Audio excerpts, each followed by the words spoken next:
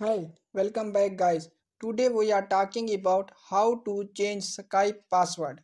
Why would you want to know how to change Skype password? Well, maybe it is your first time using Skype and not sure how to change Skype password. So today I am going to show you how to change Skype password. Check video description and I will try to leave the written instructions. Changing Skype password is quite simple and easy to do and the process is same for iOS and Android devices. Let me show how you will change Skype password. First of all open Skype app in your mobile phone and then click on profile icon in the left top corner. Now in this screen click on my Microsoft account under your profile. Now in this new window first enter your password and log in your account and then in your account section click on change password.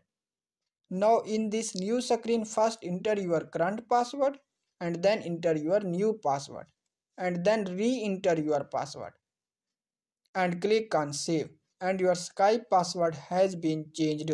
So there you go. If you were wondering how to change Skype password that is the easiest way I know. If you know another way please leave a comment below. Be sure to subscribe for more videos.